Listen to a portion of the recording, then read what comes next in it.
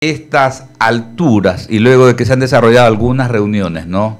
En algunas plenarias del Consejo de Participación Ciudadana y Control Social, básicamente cómo va avanzando este eh, ya se aprobó, ya decíamos hace un momento, creo que usted se nos alcanzó a escuchar, ¿no? que se había aprobado ya el reglamento para el concurso. Básicamente, ¿cuál es la situación a la interna del eh, Consejo con respecto a esta temática? Bueno, ya se aprobó el reglamento, usted conoce que el reglamento establece las, eh, los lineamientos de cómo se va a desarrollar el concurso. Yo voté en contra de ese reglamento porque es un reglamento, a mi parecer, muy particular oscuro, un reglamento que es una copia similar al reglamento con lo que se eligió a Carlos Polit. Es un reglamento donde eh, lo único que, eh, que, que se ha hecho es, eh, en este caso, pues, al parecer se está direccionando este concurso y no quiero ser eh, causante de lo que ya hemos vivido en el país con tanto con el señor Polit como con el señor Celi y lo que vivimos hoy por hoy dentro de la institución como Contraloría General del Estado por causa de las malas elecciones que han suscitado en los últimos tiempos. Uno, y segundo, pues mm. porque nosotros socializamos ese reglamento y llegaron 87 observaciones de la ciudadanía. ¿Y se las acogió? De las cuales eh, tan solo 8 se acogieron pero no se acogieron observaciones importantes como, em, por ejemplo, observaciones de la academia, la Universidad de Altos Estudios, la IAEN, hizo observaciones importantes, hubieron universidades como la Universidad Central del Norte, también con observaciones importantes y debidamente motivadas, Colegio de Profesionales de lo ASUAI lo hizo también eh, los por ejemplo, los funcionarios perjudicados de la Contraloría, observaciones importantes. Resulta que las observaciones no se debatieron, no se leyeron y simple y llanamente cogieron, al parecer, no sé, quizás porque ya conocían cuáles eran las observaciones de tres personas a título personal y esas fueron las que incorporaron eliminando varios artículos importantes que establecían la transparencia dentro de este proceso. Eso es lo preocupante, por eso fue mi voto en contra de este reglamento. Consejera, justamente había una comisión técnica, ¿no? Me imagino que porque así más o menos eh, aplica pues en la mayoría de los entes, ¿no? ¿La presidenta es la que tenía el control de quienes integraban esa comisión técnica? No, la comisión técnica estaba integrada por cada uno de los delegados de los consejeros y como apoyo técnico, que no tenía voto, sino solamente voz, eh, la asesoría jurídica del Consejo de Participación Ciudadana y Control Social. Aquí lo que estamos diciendo es que una vez socializado el reglamento, llegaron 87 observaciones, de las cuales lo pertinente era que se puedan leer las observaciones dentro de esta comisión técnica y debatir sabiendo por qué unas observaciones se acogen y por qué otras observaciones no se acogen. Quizás algunas eran, eh, no eran legales, otras sí eran legales, otras eh, ayudaban a la transparencia o ayudaban al elevar el nivel dentro de este proceso. Pero resulta que ninguna observación fue debatida al interior de la comisión técnica. Es decir, yo no quiero ser parte de una burla a la ciudadanía, ni un, de, ni un este, direccionamiento de ningún tipo a un reglamento tan importante. Son las reglas de cómo vamos a elegir al nuevo Contralor General del Estado. Es por eso que yo sí quiero ser categórica en esto. He pedido que me, se me entregue el acta de la sesión eh, de la comisión técnica. ¿Por qué? Porque ahí voy a demostrar cómo no se debatió, ahí voy a demostrar cómo se le silencian los micrófonos a los delegados. A mi delegado se le silenció el micrófono, se le apagaron las cámaras. Eh, a mi delegado no se le permitió sustentar eh, las aportaciones de la ciudadanía. Y lo que es aún peor, el Pleno del Consejo de Participación Ciudadana estableció tres horas. En tres horas era imposible. Es más, aún con todo armado, les fue imposible cumplir las tres horas para poder entregar el reglamento, eh, el proyecto borrador del reglamento al Pleno del Consejo de Participación Ciudadana y Control Social. Yo no puedo permitir que se, que se diga al interior que se ha socializado un reglamento cuando la verdad es que no se debatió ni se incorporaron eh, las observaciones importantes y debidamente motivadas. Al ciudadano le debemos de decir por qué sus observaciones no fueron incluidas y por qué a otros ciudadanos sí fueron incluidas. Claro, solamente por recordarle a nuestra audiencia consejera que usted se refiere pues a esa reunión que entiendo empezó en la noche y terminó en la madrugada, hace una semana exactamente cuando se debatía esto del reglamento. estamos hablando del eh, reglamento para el concurso de méritos y oposición, nada más y nada menos, señores, para designar al Contralor General del Estado. A veces perdemos la perspectiva, los ecuatorianos, no, perdemos la perspectiva de que precisamente es el juez de cuentas de todos los funcionarios eh, públicos. Eh, Lucía Jaramillo tiene otras inquietudes para usted, consejera. Gracias, Alberto. ¿Cómo le va, consejera? Lo que se conoció además es que un ciudadano de nombre Byron López Ríos planteó que se elimine la prueba práctica que estaba justamente enmarcada en un primer reglamento borrador. Ahora, según declaraciones del vicepresidente David Rosero, el ciudadano hizo esta propuesta alegando que se evitaran altos niveles de subjetividad al momento de la calificación. ¿Por qué? Porque el primer borrador que proponía que los candidatos a ser contralor rindan una prueba práctica de una auditoría que era sobre 20 puntos, pero esto no fue incluido, consejera. Quiero aclarar que varios ciudadanos, eh, los tres ciudadanos, que solamente a los tres ciudadanos se les acogen eh, las observaciones, no motivaron ninguna de, sus eh, observaciones, sugerencias o aportes. Lo único que dijeron fue, elimínese el artículo 40, elimínese el artículo 41, elimínese el artículo 42. Ah, ¿Por qué? No lo sabemos. Ahora resulta que eh, alguien de mis compañeros dice que lo ha motivado. Quiero dejarle en claro y les voy a hacer y les voy a entregar, como lo he elevado a, mi, a mis redes sociales, exactamente las observaciones de la ciudadanía, cuáles fueron llegadas o entregadas o remitidas a mi despacho. Ahí ustedes pueden dar cuenta quién miente y quién no miente. Consejera. Una. Dos. Hubieron. Sí. Sí, le escucho, le escucho. Sí, por favor, termine. Hubieron eh, acotaciones, sugerencias importantísimas que yo planteé, porque entiendo que si la comisión técnica no debatió las observaciones, que al menos el Pleno las, debatiéramos el día domingo, que fue cuando se aprobó el reglamento eh, de la primera autoridad de la Contraloría. ¿Y por qué? Porque, por ejemplo, elevaban el nivel dentro del concurso de mérito y oposición la Universidad IAEN estipulaba que se le diera un pequeño pequeños puntos a aquella persona que tenía un título de PhD y me pareció importante incluir eso. Se incluía también, si bien es cierto, no querían incluir la prueba eh, práctica, se incluía dentro de la prueba teórica un caso práctico. Y eso también fue debidamente motivado por las observaciones. ¿Por qué un caso práctico? Porque quien llegue a ser la primera autoridad de, la Contraloría General del Estado debe saber cómo se genera o cómo se realiza un proceso para, para terminar en una responsabilidad civil administrativa en una glosa. ¿Cómo puede ser posible? No que yo no quiero pensar que lo único que se trata es de elegir bajo los títulos que tenga.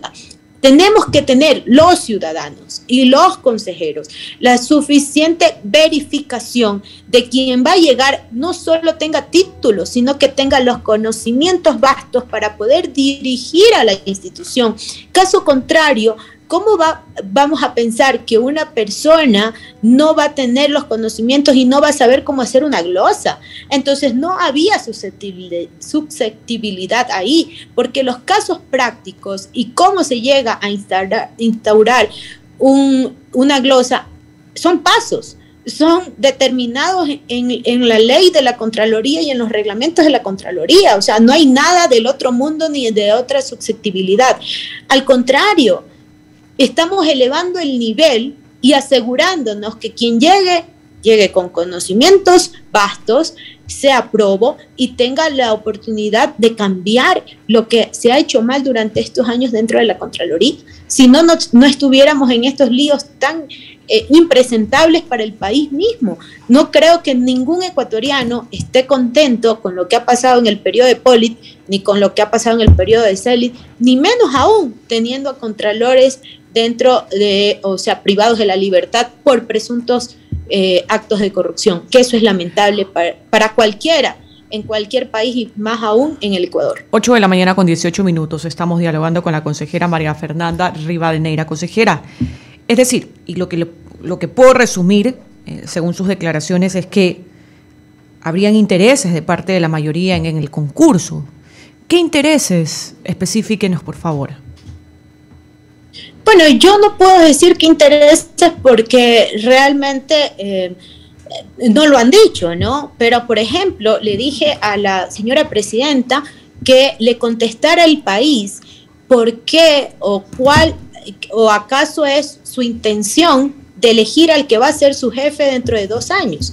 La señora presidenta es funcionaria de la Contraloría General del Estado, funcionaria de planta funcionaria de hace 14 años. Resulta que en dos años que termina el periodo de consejera vuelve a ser eh, o vuelve a, ir a la Contraloría. Yo le pregunté a ella, ¿acaso está su conflicto de interés? O, o respóndale al país, porque entiendo que hay un conflicto de intereses para poder elegir al Contralor General del Estado. No podemos, nosotros no podemos hacer mal las cosas. Yo creo que nosotros estamos en un punto en el que debemos de hacer bien y hacerlas eh, en hechos y no en palabras. Entonces no se puede eh, difamar dentro del Pleno y decir que estamos tratando de detener la designación del, Contralor. No, estamos tratando que la designación del Contralor sea transparente. Estamos tratando de que esto que ha sido oscuro en los concursos de mérito y oposición se vuelvan claros. Estamos tratando de tener reglas claras y que no, no resulte que a mitad del concurso, como al parecer no le va a ir bien o no le fue bien al candidato elegido por la mayoría, entonces hay que cambiar nuevamente las reglas o hay que rectificar ciertos puntajes. Yo quiero decirles que aquí no se trata de una mayoría o de una minoría. Aquí se trata de construir lo mejor para el país. Y como lo dijeron ya en, en estudios, Aquí no se está eligiendo cualquier autoridad, aquí se está eligiendo a la autoridad que vigila, controla, supervisa los recursos públicos y los bienes públicos de todos los ecuatorianos. Nosotros no podemos fallar, no podemos decir fallamos, nos equivocamos, no. Creo que nosotros debemos de aprender de todas las cosas que no se hicieron bien y con eso hacer bien las cosas dentro de este concurso para elegir a la primera autoridad de la Contraloría. Gracias, consejera. Sí, y, solamente un detallito, y es en momentos históricos esto ah, de la selección del próximo Contralor, porque hay tantas, aparte de las denuncias, de estos temas de, de, las luces. Y solamente una precisión, porque ya viene Jaime Velázquez que tiene otras inquietudes para ustedes. Una precisión. Yo, la verdad es que tengo que decirlo, no lo conocía. La ingeniera... Eh, Sofía Almeida Fuentes, actual presidenta del Consejo de Participación Ciudadana y Control Social, es funcionaria de la Contraloría desde hace 14 años. Eso es lo que usted acaba de decir, María Fernanda. Así es, no, no solo yo, ella lo ha dicho el, día de ayer en contacto directo. Ella es funcionaria de planta de la Contraloría. No lo he dicho yo, lo ha dicho ella. Correcto. Y le pregunté y que le responda el país si habría o acaso dentro de esta designación ella tiene algún tipo de conflicto de interés, pero eso no, no lo puedo responder yo. no, no, no, le Dije que por favor nos respondiera el país entero, ¿no? Eh, exactamente. En, en aras de la transparencia, eso uno debe salir, si ocupa una función, de decir, a ver, yo por si acaso tengo esto de aquí, porque no es cualquier cosa. Lo que usted está eh, ratificando no es cualquier cosa. 8 con 22 minutos, don Jaime Velázquez, el buenos días y adelante, siga usted. Gracias, Alberto. Buenos días, buenos días, consejera. La verdad es que es un placer tenerla por acá en diálogo en la mañana. Este, simplemente he notado que usted dice, bueno, hay que denunciar las cosas o las fallas y hay que hacer un nuevo proceso transparente, etcétera, pero son minoría. Ya todo lo que ustedes están diciendo ya pasó, digamos. O sea, más allá de denunciarlo públicamente, no pasa nada. ¿Qué, ¿No cree usted que mejor deberíamos eliminar ese consejo? Mire, yo creo que gracias, gracias por su comentario y es verdad. pero yo no lo hago porque eh, tengo que estar en una mayoría y no denunciar. Las cosas que están mal hay que denunciarlas. Y yo lo, yo lo he dicho, yo me siento bien en el lugar que estoy porque soy en el lado correcto, en el lado que se deben de construir, no en el lado que se debe de destruir. Eh, varios de mis compañeros dijeron en la aprobación del Pleno, yo tengo una responsabilidad política, yo tengo una responsabilidad ciudadana, le contesté, porque esto debe de ser así. Pero más allá del tema o de las mayorías o minorías que existen dentro del Consejo de Participación Ciudadana, para mí el Consejo como institución per se es necesaria. Como institución necesita que siga viviendo. ¿Por qué? Si los malos funcionarios o los malos administradores de la institución son los que están elaborando o realizando estas malas acciones, no quiere decir que por eso tenga que eliminarse la institución. La participación ciudadana es necesaria en el país para que así se vigilen los recursos públicos. La lucha contra la corrupción es necesaria, pero una lucha contra la corrupción que no debe ser solo de eh, presentar las denuncias y dejarlas ahí a la intemperie. Hay que ser parte procesal, como así lo determina la Constitución de la República del Ecuador, y ser actores dentro de esas causas para encontrar eh, los culpables y que sean sancionados con el mayor rigor de la ley.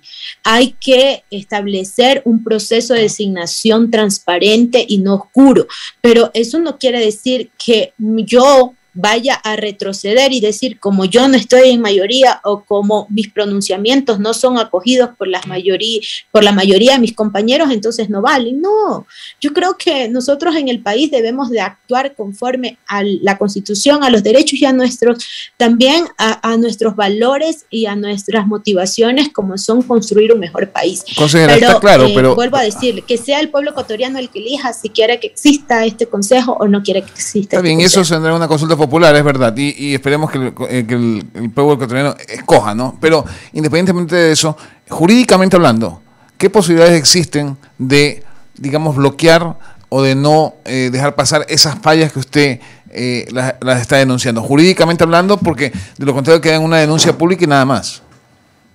Bueno, primero eh, yo no fui parte de aprobar el reglamento y segundo, si el concurso eh, que ya se debe de iniciar, porque usted sabe que el Consejo de Participación Ciudadana está integrado por siete consejeros y las decisiones se la toman por una mayoría, lo que aquí toca es transmitir en vivo todo lo que va a pasar dentro del concurso. Es estar vigilante, invito a los ciudadanos a ser parte de las vedurías ciudadanas, de las comisiones ciudadanas de selección, que participen también, porque resulta que no siempre lo que se quiere se termina haciendo. ¿Y a qué eh, tengo que decir y tengo que establecer con ello? Es que eh, van a ver y espero que este proceso, no solo eh, si las reglas no están claras, pero vamos a estar vigilantes de que se cumplan con el debido proceso, les guste o no a la mayoría del Consejo de Participación Ciudadana, y no se ha tomado eh, como en algún momento se tomó, como dijo el consejero Ulloa, por asalto la comisión, no se ha tomado por asalto eh, realmente este proceso, ¿no? Queremos agradecerle, consejera, por sus palabras y sus, obviamente, tiempo que nos ha dedicado. Muchas gracias. ¿ah? Muchas gracias, un gusto. Pasen bien. María Fernanda Rivadeneira, integrante del Consejo de Participación Ciudadana y Control Social.